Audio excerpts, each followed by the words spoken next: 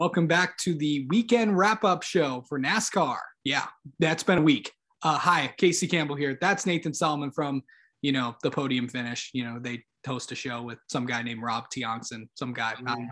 Uh, it's and he also hosts some some dumb show where they talk about uh, you know New York sports and how bad they are and all that. And uh, back in action today. They're back in action. Well, no, well the bodies are they're doing pretty good, but uh, you got the you got the other teams, and we'll we'll not talk about baseball, but because they're they're not doing anything. They're they're locked. Yeah, that could be a long rant, so I wouldn't I wouldn't get me going in that direction. Yeah, let's not do that because uh, I have a lot to say about that topic as well. But there's a lot been a lot of news in uh, this week in NASCAR. Of course, uh, obviously took the week off last week. Hope everyone had a good Thanksgiving. Um, but this is uh, this is, uh, teams went back to work this week, and there was a ton of announcements this week. There was a lot of announcements. Um, the PR guys are they they've been uh been quite busy here this last week. Yeah, they have been. Let's start with one of the biggest ones uh, to come across here, and probably I think the biggest announcement, and pretty much the biggest surprise of the week.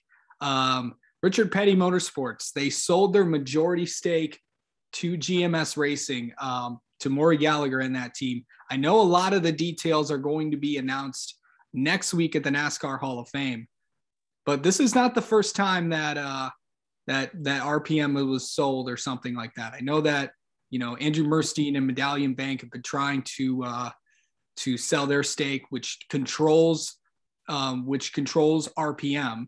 Um, Richard Petty does not have the full control of the team.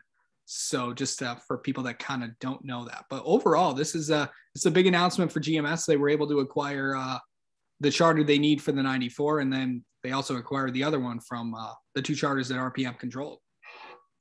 Yeah, I mean, just what you said is it, it, was a surprising announcement. Like it, it, was a surprising announcement, but it kind of wasn't a surprising announcement. Like I know that uh, Richard Petty Motorsports they've they've sold um I, I guess stake holders like they, they've sold part to the team before um they have been i guess they're, they're in that same chevy alliance with, with rcr and so when, when gms came in they were i guess kind of co-partners or, or um or I just allies, I guess, if you will.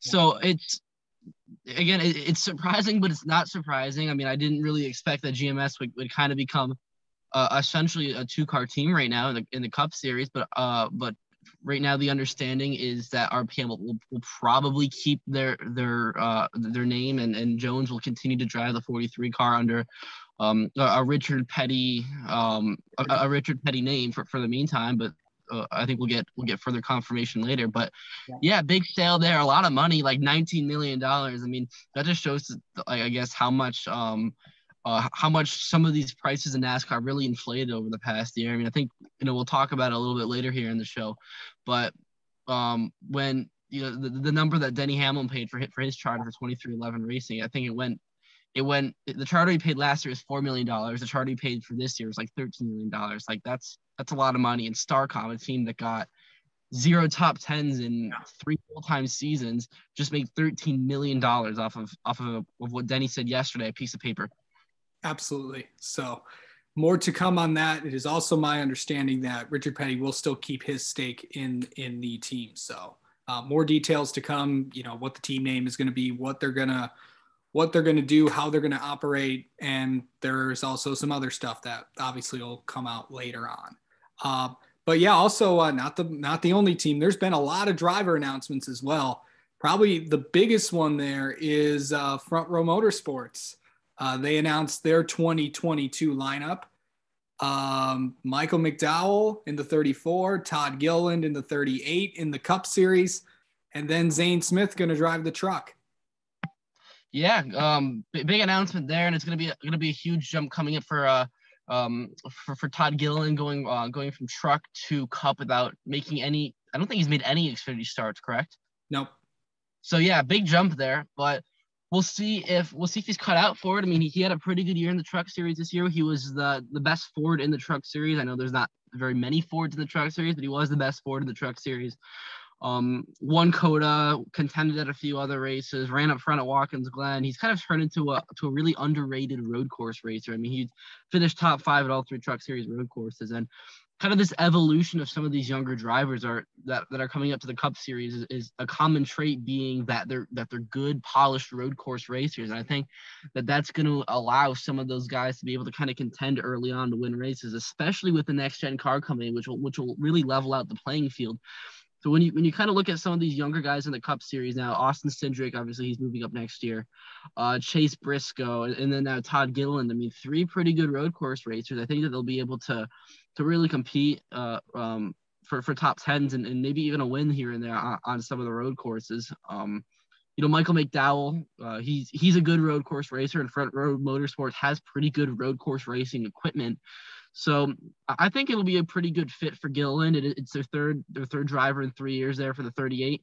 So that, that's a little bit interesting, but uh, I, I like it. I know that they've been in in some other in they had been in discussions with some other drivers for that role, but but with the ties, the family ties and, and everything, I think it was probably um, uh, the best choice and, and with his I guess his good relationship with some of the front row sponsors that was the other the other selling point for him in the 38 so be interesting to see how he does. Um obviously not com- uh, compared to some of the other teams not not as great equipment on ovals on, on some of the intermediates and everything but we'll, we'll see how he does on some of the some of the plate races and road course where I think he can be he can be really competitive and if you want more about, you know, more about the front row announcement, as as as you may have seen, I got the chance to talk with front row motorsports general manager Jerry Freeze, who went in uh, went in all the discussions about what the team, what the team did as uh, Nathan tries to fix his camera. Um, you're a little bit backwards, upside down there. I have a little issue. Yeah, I, I can see that. My apologies, guys. Well, well, Nathan fixes his camera. Of course, uh, of course, Jerry and I talked about a lot of the news surrounding Front Row Motorsports uh, the other day. Um, so go check that out on my channel. Um, lots of truck news, um, lot, uh, lots of it. So uh, a couple rundowns here. KBM announces that Chandler Smith will be back in the 18 truck. Of course, season he had two wins last year. Um, pretty good, um, pretty good pickup for them. Uh, first time that first time that KBM is going to have both their drivers back because the last few years they they changed them. So good to see them back. Also, On Point Motorsports announced that Tate Fogleman will be taking over the 30 truck this year. Got a chance to talk to him as well. Go check that out.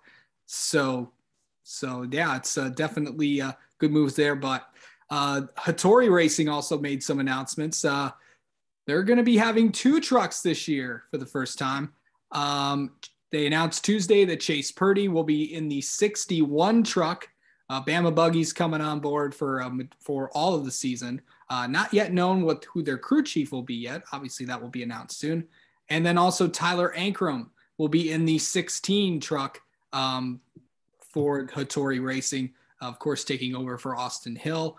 Um, LiUNA, his sponsor that has been on his truck since his days at GMS, will be the primary sponsor for 20 out of the 23 races. So Hattori Racing uh, is getting a little bit of a makeover, but uh, a lot of interesting choices from the uh, from the driver that's kind of raised some eyebrows. Yeah, I mean, uh, two kind of interesting picks there for Hattori to, to field those two cars, and I mean. I, I think they could be really good signings, but they're also risks. I mean, Chase, both drivers have really kind of disappointed um, you know, you know, last season with with um with GMS, and it's kind of interesting that that you know with GMS cutting down to two or three trucks, they um, you know, the, the two drivers that are really out here are, um, or two of the drivers that are really out are, are going over to, to Hattori and Toyota. So that's interesting there. But um, yeah, two risks. I mean, Tyler Ankrum has, you know, besides his one win in 2019, I think it was, um, you know, he's really been disappointing otherwise. I mean, he's been in good equipment. I know GMS did not have the greatest of years this year. Of course, Sheldon Creed won a few races, and, and Zane Smith ended up finishing second in points just because of, of his win at Martinsville. But overall, a down year for them, and it just Ankrum is not, you know, he's, he's just not been he's not been very consistent, and and that's the same with with Chase Purdy. I mean, he's got some, I guess, some unpolished talent, if you will, and so I, I think that he you know, he's getting the second. Both guys are really getting a second chance and, and maybe a final chance to really prove themselves and, and go out and win a few races this year. So, um, again, interesting moves there by uh, by Hattori, but they're they're they're both going to be in good trucks. And Toyota was, of course, the dominant manufacturer this season in the truck series. so I think there's there's no reason why they can both go out and, and have a good season and, and contend to win some races. Well, Hattori decided to add a truck. Of course, um, they lose one with BMR, so they just added another Hattori truck. So good stuff there. Final driver news this week: Miguel Paludo was announced that he's going to run uh, three races for Junior Motorsports in the 88 car for uh, the races at COTA, Road America, and the IMS Road Course. So, uh, of course, Paludo will be back for three races in that car. So that's good stuff there. Some sponsorship news: Menards is back on with Ryan Blaney and um, Austin Cindric. They'll also help out with Harrison Burton as well. Um, Menards in there. Also, Tootsie's that Nashville, uh, that Nashville like you know staple in Nashville. They announced that they're going to be on the with uh, Trackhouse and Daniel Suarez for seven races uh, this season, starting with the Daytona 500. Um, Hooters announced yesterday that Chase Elliott will be. Uh, Hooters announced yesterday that they will sponsor Chase Elliott for the next um, for for the next three seasons with that nine car. Of course, Chase Elliott's contract runs through next year, but um, obviously they're going to probably get to work on that and try to you know re-sign him. And obviously we that's that's what the plan is. So that good stuff there. But the other announcement that I think I want to kind of mention, uh, remember those ARCA, Whelen, all those uh, all those uh, weekly series NASCAR Roots races. Well, they're going to be uh, going to somewhere else. Um, they announced this week that a lot of those races are now going to be on FloRacing. Of course, uh, a lot of the, of course, FloRacing is watches all different kinds of it. I just bought my subscription yesterday. So they also run a button number of USAC races. Got a chance to check out a USAC Silver Crown race earlier this uh, earlier this year at Toledo Speedway. Um, yeah, so fun stuff there if you uh, like all kinds of racing overall. But what's that going to be like? Uh, you know, shifting all over to that. And we have a new partner now. Yeah, it's gonna be spending more money. I mean, just for uh, for your subscription, I might have to uh, dip in there and and yeah. uh, and pay to watch the uh, um the NASCAR roots. But but yeah, I mean, I guess kind of an interesting decision. Not completely surprising with with NBC Sports. I guess downsizing. Of, of course, I mean the, the NASCAR roots had uh, a partnership with NBC Digital, NBC Gold, NBC Track Pass, that kind of system, but um, end of the year, uh, N- NBC Sports is basically downsizing. They're getting rid of NBC Sports Network, so all of their sporting events there will be will go over to USA Network. So I guess with that announcement, it's not surprising that, that they're switching over to FloRacing, but it just kind of sucks that it'll be a little bit more of an expensive sponsorship. So, but yeah, I mean, I I think the, the move's fine. Uh, of course, they'll they'll still be select ARCA races on uh, FS1 next season. Usually when they are on the same weekend as uh, a, a NASCAR national series at a NASCAR, yep, you know, national weekend like at, at one of their tracks. So um I think that's like I think it's eight FS1 races and then 12 yep. will be on FloRacing or whatever. So actually I'm um, gonna I'm gonna stop you there. So I was able to clarify this with ARCA yesterday. So um, the main ARCA races will be on FS1 along with MAV TV. Um, the remaining races that aren't on FS1, they're going to be on MAV TV shown on there and then all those races will be on the what was essentially track pass now on FloRacing uh, all the arca east races will be on FloRacing along with arca west the whelen modified tour the pinty series as well as the nascar advanced auto parts weekly series. So uh, good stuff there. Of course that's also the home of the chili bowl which gets going uh, next month. Uh, cannot wait for that. But anyway that's a lot of news. There should be there could be more next week. I know there's going to be uh, there's going to be more announcements and we're gonna and guess what? We'll be back next week. I'm not sure if it's gonna be Nathan, but it could be somebody else. But well, I'll be here with with somebody um, as uh, we get closer and closer to the uh, to the beginning of the LA Clash, which is just 65 days away and only 79 days until the Daytona 500, uh, which gets going um, in February. So good stuff there. Yes, I know. Yes. Um, all right. Well, Nathan, that's going to do it for this week. Thank you so much for joining me. And thank you all for watching. And if you like what you see, don't forget to hit that subscribe button as well.